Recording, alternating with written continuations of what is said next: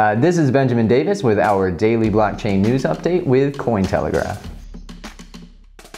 Our first story today is about Overstock.com. If you don't know them, just think Amazon.com Stephen Baldwin. They have announced plans to launch a new ICO through the company's majority-owned subsidiary, T0, with a goal to raise $500 million, which is double the record of 262 million set by Filecoin. If, when you think Overstock.com, you have the sudden urge to visit IKEA, you're thinking of the right place, but they're a lot more than an e-commerce and clothing retailer. In 2014, they launched a blockchain-focused division of their company called Medici Ventures. Since then, this branch has been an ever-growing part of Overstock's future.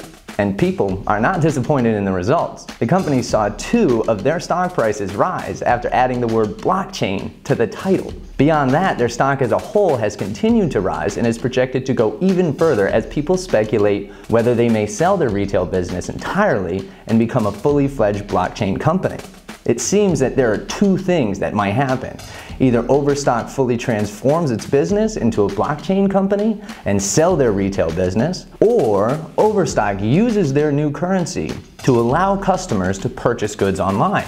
Either way, this is another step in bringing cryptocurrencies from assets to actual currencies. And now it seems like adding the word blockchain to anything is just a magnet for money these days. And this brings us to our tip of the day. And that is to pay attention to those companies that are implementing blockchain technology in their businesses right now because those are the companies that are going to come out ahead in the future when blockchain becomes that universal norm. One of the most important and enticing aspects of cryptocurrencies is the security surrounding them. With this in mind, many are infuriated and in a state of disbelief after Parity Wallet was hacked by white hat hackers, causing 151 wallets to be frozen, with balances totaling 152 million. This has been the second hack this year and it isn't looking good for Parity. How could this happen?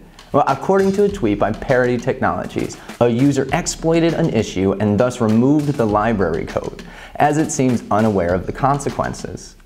Because the smart contract in the library is immutable, this means that the future is looking somewhat bleak, since the only way to reclaim these funds would be a hard fork of the entire Ethereum network. Since the funds were only frozen and not stolen, it seems that only time will tell.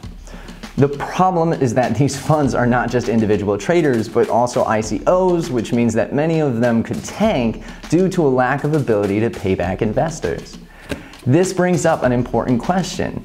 Well, right now you have to at least be somewhat versed in technology to get into cryptocurrencies, but the goal of the technology is to make it more public. You know, how could a hack like this impact the disposition of your average person who has no understanding of how all of it works? Now we'll talk about virtual real estate. Blockchain might not be making its way into the actual real estate market anytime soon, but that isn't keeping it from playing a major role in virtual real estate. Soon there will be a land auction for parcels of land in what's called Decentraland. If you're having a hard time visualizing what this would look like, you're not alone. And when you read their website, they use terms like foot traffic and development, and it makes it sound like they're building an actual city, uh, which in some respects they are. Uh, this is exactly what your stone sci-fi friend was going on and on about, and this is exactly what, how he's going to make his millions because virtual reality and blockchain technology are undoubtedly the future you got to check out the link below to get some idea of what Decentraland is going to do with their new virtual city. It is very impressive. Everyone is afraid of bears, and rightfully so. They're bears. My uncle used to tell me a joke about two friends who were in the woods and they came across a bear. One friend freezes and the other starts taking off his shoes. The friend standing there frozen turns and says, you can't outrun a bear. To which the shoeless friend replies, I don't have to. I just have to outrun you.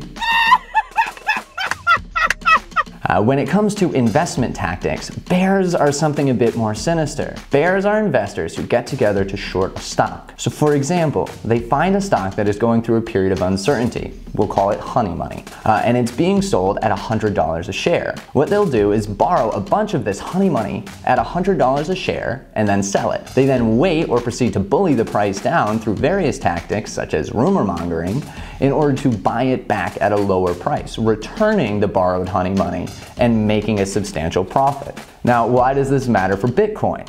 Well, the CME announced that it will launch Bitcoin's futures in December of this year, which would legitimize Bitcoin as an asset. This legitimacy will mean that the SEC will have a much harder time blocking Bitcoin ETFs. This is great news for US investors who are often blocked from trading in Bitcoin on various platforms, but it also opens up potential to short Bitcoin, lathering it with honey and welcoming the bears. However, it is important to remember that this is an unlikely strategy for investors since predicting the rise and fall of Bitcoin's value is foolish. So it seems like everyone can keep their shoes on. Even bears are not so reckless as to go after Bitcoin. Now we have a story about MasterCard. Is it any wonder that a company with master in their name has a desire to control something? Uh, on November 9th, MasterCard filed a patent for instantaneous payments using blockchain technology. So what will this do? Well, as it stands, when you make a purchase with a credit card, you get that little notice that says pending because it takes up to a few days for a transaction to go through. Implementing blockchain technology would eliminate this and make transactions instantaneous. In the past, MasterCard CEO has made multiple disparaging remarks about Bitcoin, attacking it for being unstable and highlighting its potential for illegal transactions. While these accusations have their merits, it's a pretty unstable high horse he's standing on since credit cards themselves come with high interest rates and a whole plethora of hidden fees. Not to mention the Equifax hack that happened earlier this year, which compromised the details of over 200,000 Visa and MasterCard holders. So this doesn't make one side right or the other. It just means that when it comes to the world of finance, no one is perfect, but the implementation of blockchain in any system is a step in the right direction. Right now, blockchain has gotten a lot of attention for its ability to improve business and make money. But this story shows how blockchain can be used to fight some of the world's greatest injustices. The UN and WIN plan to use blockchain to fight child trafficking.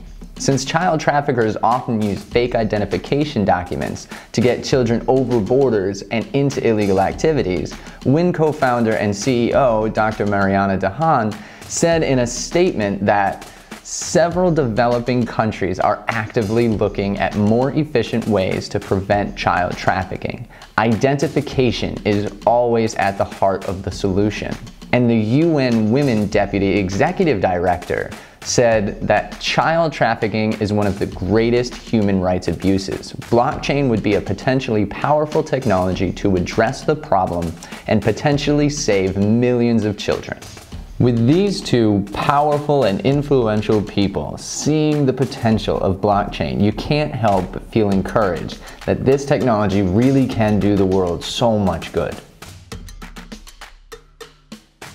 And that's all for today's daily news. Please don't forget to subscribe down below. And if you have any questions or more details about any of the stories you heard today, please don't be shy and come visit us at Cointelegraph.com.